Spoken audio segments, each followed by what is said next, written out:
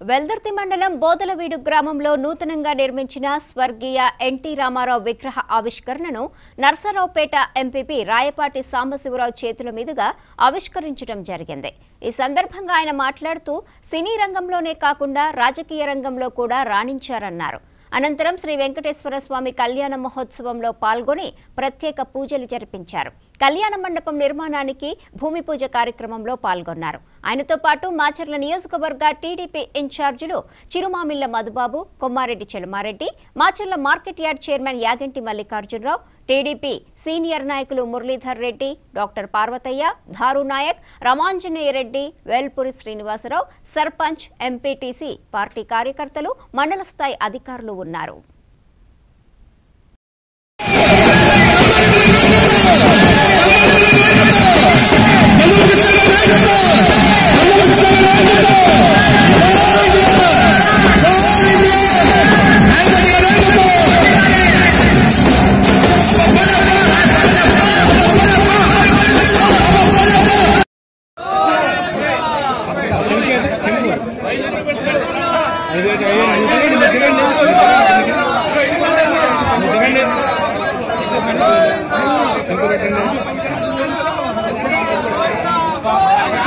Temple తీసుకో.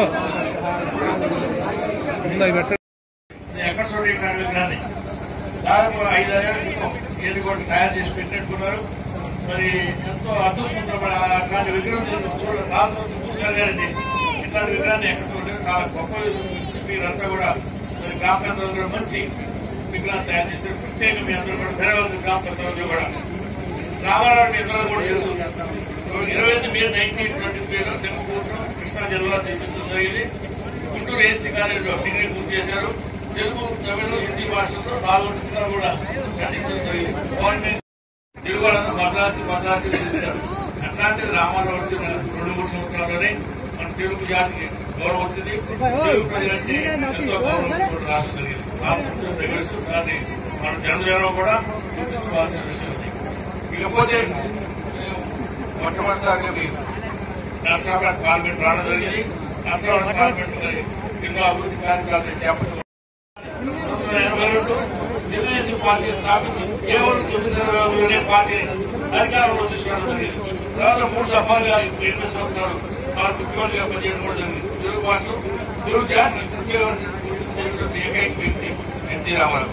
రాజకీయాలు ఆయన కింగ్ మేకర్ అందులో కొత్త వారిని ముఖ్యంగా వారు పార్టీ పెట్టినప్పుడు నలభై రెండు మరి ఆయన పార్టీలో ఎవరు లేరు.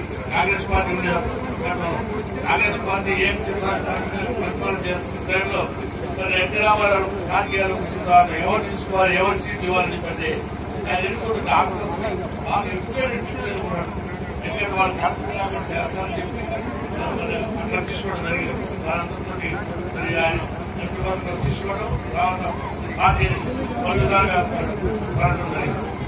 ముఖ్యంగా రామారావు గుర్తు చేసుకోవాల్సింది ఏంటంటే నేను డెబ్బై ఏడు డెబ్బై ఎనిమిది నుండి ఢిల్లీ వెళ్ళేవాడిని రెండు వేల పదిహేడు పదహారులో కోటి యాభై తొమ్మిది లక్షలు ఇవ్వడం జరిగింది. అదేవిధంగా రెండు వేల పదహారు పదిహేడు కోటి యాభై లక్షలు మొత్తం కూడా నాలుగు కోటి ఇరవై ఐదు లక్షలు కూడా ఇవ్వడం జరిగింది. ఈ ఒక్క మాట సెక్రటరీ. ముఖ్యంగా మేము వచ్చిన తర్వాత ముఖ్యంగా మాచర్ల వీరుకోట గురియాల ఇప్పుడు ఎస్ఎం సెక్రటరీ కూడా. తాగునీరు చాలా అసౌకర్యం ఉంది నాలుగు కనుక దాదాపు వెయ్యి వెయ్యి లోపలికి వెళ్ళేసరికి నీళ్ళు దొరకకపోతే మరి ముఖ్యమంత్రి గారు ఆదేశించారు ఏంటంటే వాళ్ళకి వాటర్ గ్రిడ్ అరేంజ్ చేయాల్సిందే. దాంతో నేను ప్రత్యేక సంవత్సరం దాన్ని బట్టి వాటర్ గ్రిడ్ తయారు చేశాను. రెండు వేల రెండు వందల ఎనభై ఐదు కోట్లు కేటాయించారు మీరు నిన్నగాక మన బడ్జెట్లో మూడు వందల నలభై కోట్లు ఇవ్వడం నూతన రాజధాని అమలు పత్ర రైలు మార్గం నూట ఆరు కిలోమీటర్లు విజయనగరంతో దాంట్లో రైలు మార్గం కూడా నంబూరు తాడుకొండ వడ్లమాను తర్వాత కృష్ణానది మీదుగా పరిటాల కొట్టినట్టుగా ప్రస్తుతం విజయవాడ ఖమ్మం మధ్య. కానీ ఎర్రపాలన స్టేషన్ అనుసంధానం చేస్తూ రెండు వేల రెండు వేల అరవై ఐదు కోట్ల రూపాయలతో నాలుగు సంవత్సరాల్లో ఈ మాటలు నిర్మాణం పూర్తి చేసే విధంగా చేయడం లేదు కానీ మన ముఖ్యంగా మన కాన్స్టిట్యూన్సీ వరకు. మేము ఇంతవరకు